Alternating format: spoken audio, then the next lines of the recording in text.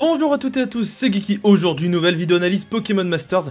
Et cette fois-ci, on se retrouve pour analyser le deuxième duo des 30 mois du jeu, à savoir Carolina, anniversaire 2022, et Boreas, forme totémique. Donc, ce sera un tacticien. Euh, encore un tacticien, oui de toute façon les trois festes euh, des 30 mois sont des tacticiens. Carolina, parlons vite fait de la tenue. Je trouve la tenue magnifique voilà, déjà Carolina c'était un perso que j'aime beaucoup, alors là l'avoir dans une tenue comme ça, je le veux absolument. Bon, le perso reste bien évidemment à moi, donc du, euh, du 2 mars jusqu'au 31 mars. Donc, euh, vous avez le temps de le daily si vous êtes un peu cash player. Après, ça ne presse pas de l'invoquer. Il reste un mois. Et surtout, au milieu de mois, faut pas oublier qu'il y a un Masterfest. Et avant de commencer cette vidéo, petite dédicace à toi, Liam, qui, comme moi, est un amoureux de Carolina. Voilà, petite dédicace à l'écran, je te l'avais promis. Et on va maintenant commencer l'analyse de Boreas. Alors, il sera de type vol et faible aux attaques de type roche. Et au niveau de ses stats, déjà, on regarde, oh là là, euh, gros DPS ou Gabunga. Et oui, 397 en attaque 448 en attaque spéciale et 380 en vitesse. Alors, niveau de la vitesse, c'est vraiment excellent. Quasiment 400 en vitesse, c'est vraiment très cool. Après, on regarde la stat d'attaque spéciale, on se dit, oh là là, il va vraiment être là pour taper. Sauf qu'en fait, on va voir le reste du kit, et c'est peut-être pas autant le cas qu'on ne le croit. Maintenant, on va passer aux attaques. Tout d'abord, il a l'attaque tranchère.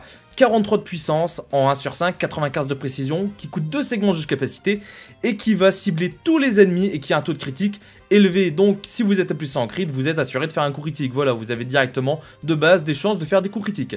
Et ensuite, bah, c'est la seule attaque du Pokémon, le reste c'est totalement de l'utilitaire. On a tout d'abord le Sway Vol qui va poser la zone vol euh, pour booster les attaquants et les tacticiens qui tapent sur le type vol. Petite dédicace à toi, Rayquaza Shiny, dès deux ans, qui, tu vas enfin avoir un, semblant de buff. Pareil, euh, bon, seul souci c'est que euh, Togekiss d'hiver 2020 va pas pouvoir en profiter parce que c'est le même dresseur. Par contre, tout ce qui est Eturaptor, Roucarnage, ça va pouvoir en profiter. Ensuite, on a une mini potion G, chose qu'on a déjà vu sur Ronflex, donc qui va restaurer environ 20% des PV maximum de tous les duos alliés, donc c'est utilisable deux fois. Et enfin, nous avons le Move Dresser, je suis en commande, deux utilisations qui va cibler tous les alliés, augmente l'attaque spéciale et le taux de critique du lanceur de 1 rang, et va augmenter la vitesse de tous les duos alliés de 2 rangs. Donc on comprend rapidement que Boreas est un tacticien utilitaire qui va aussi supporter la team en termes de vitesse.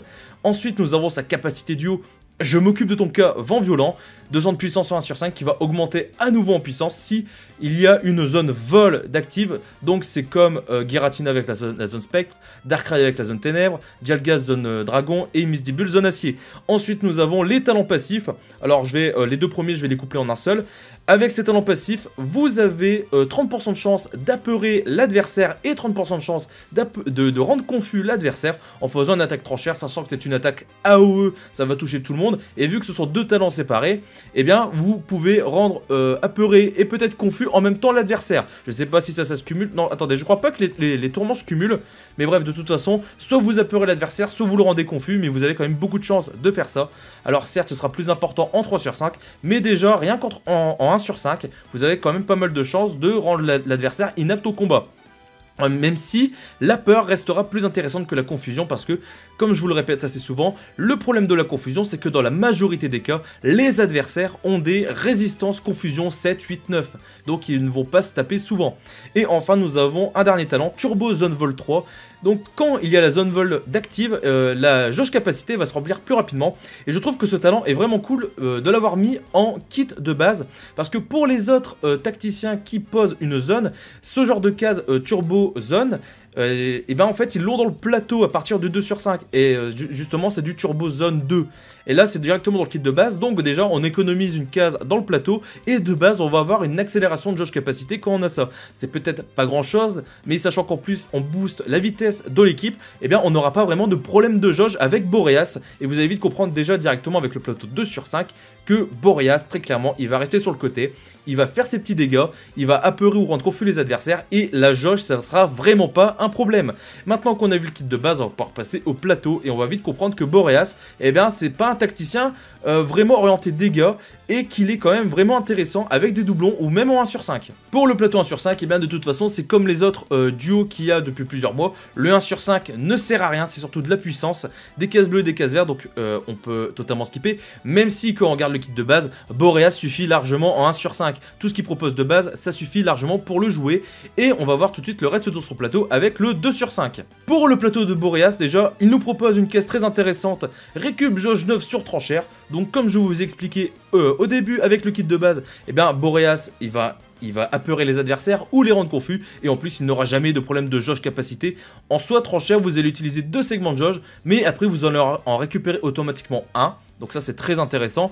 Ici on a arrivé coach critique 1. Quand il arrive sur le terrain, toute l'équipe obtient son taux de critique augmenté à plus 1. Donc ça, ça peut être intéressant, surtout si derrière vos autres membres de l'équipe se boostent en critique tout seul ou alors que vous, vous manquez de, euh, de soutien boostant le critique dans l'équipe. Par exemple, vous prenez un soutien qui ne booste pas le critique, mais votre attaquant, lui, peut se booster un plus dans le critique, et bah derrière, ça va pouvoir euh, l'aider à se mettre à plus 3 à plus 3 en critique.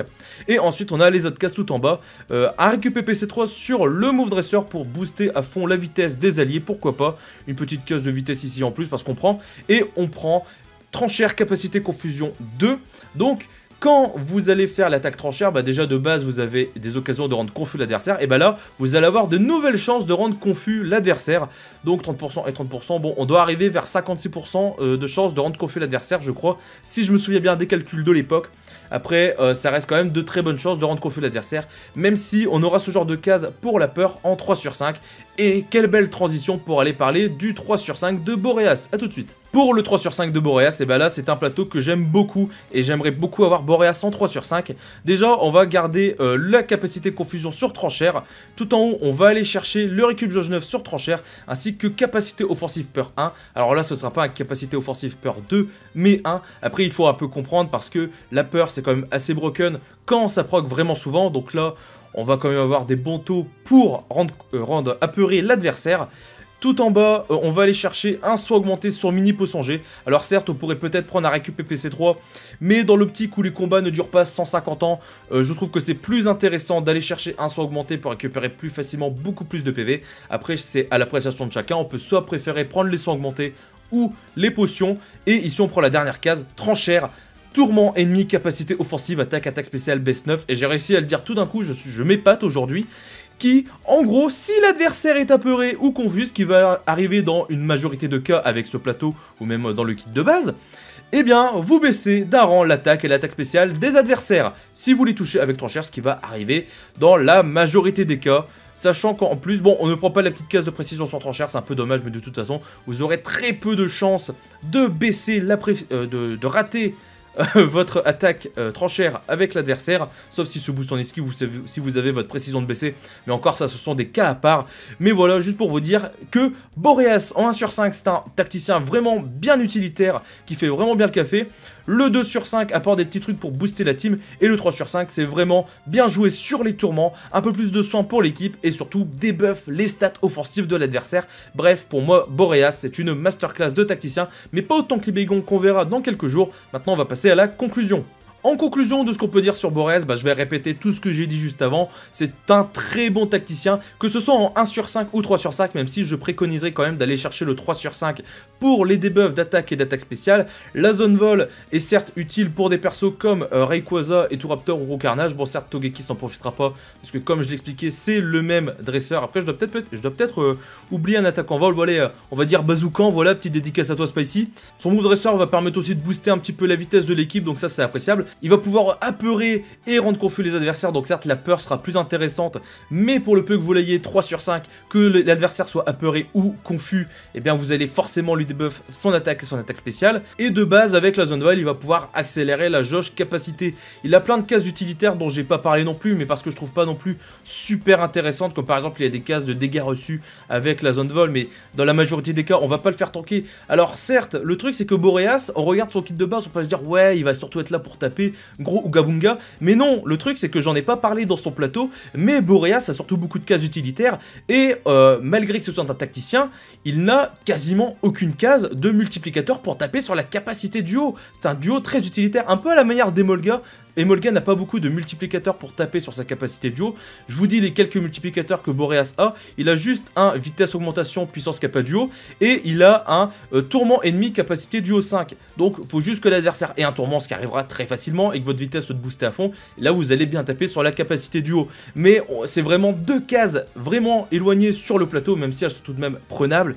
Mais voilà, c'est pas non plus un gros sync nuke à 300% de puissance ou quoi que ce soit, c'est vraiment un duo axé sur l'utilité et ça, ça fait harfi Après, en termes négatifs, en points négatifs que je pourrais lui trouver, bah, j'en ai pas spécialement comparé à la chasse où la chasse vraiment, euh, c'est pas exceptionnel et que les doublons servent pas grand chose. La Boreas, que ce soit en 1 sur 5, le 2 sur 5 est un peu plus intéressant quand même, mais il vaut pas le 3 sur 5. Le 3 sur 5 est vraiment cool, mais encore une fois, ça dépend aussi de, si vous voulez vraiment débuff l'attaque et l'attaque spéciale, parce que si vous voulez juste apeurer l'adversaire roulant de confus, le 1 sur 5 suffit largement, et c'est tout vraiment ce que j'ai à dire sur ce personnage. Après, je me doute que vous aurez envie de l'invoquer, mais je le répète, le duo reste un mois entier, du 2 mars jusqu'au 31 mars. À côté, il y a Libégon qui va arriver, qui lui, bah là c'est encore pire. C'est un excellent tacticien, que ce soit en 1 sur 5, 2 sur 5 ou 3 sur 5, on en reparlera dans quelques jours. Et milieu de mois, il y a Zigard, Masterfest Kalos qui arrivera aussi. Mais de toute façon, ça, c'est comme vous voulez. Moi, dans tous les cas, je vous conseillerais plutôt d'attendre un Masterfest et d'attendre euh, de l'avoir chopé pour aller chercher les festes. Après, vous faites comme vous voulez. Euh, mais voilà, euh, Carolina et Boreas, pour moi, c'est un tacticien à ne pas skip parce qu'il est vraiment intéressant dans tout ce qu'il propose. Et c'est ainsi que je vais conclure cette vidéo. N'hésitez pas à me dire en commentaire ce que vous en pensez. N'hésitez pas à mettre un pouce bleu si vous avez aimé la vidéo et à rejoindre le Discord FCG dans la description si ça vous plaît. Rejoignez aussi la chaîne Twitch et allez voir le, le, Google Doc des plateaux pour voir les différents plateaux que j'ai fait et que je tiens un jour pour les différents duos. Et on se retrouve pour de prochaines vidéos. C'était Geeky, je vous embrasse tous. Ciao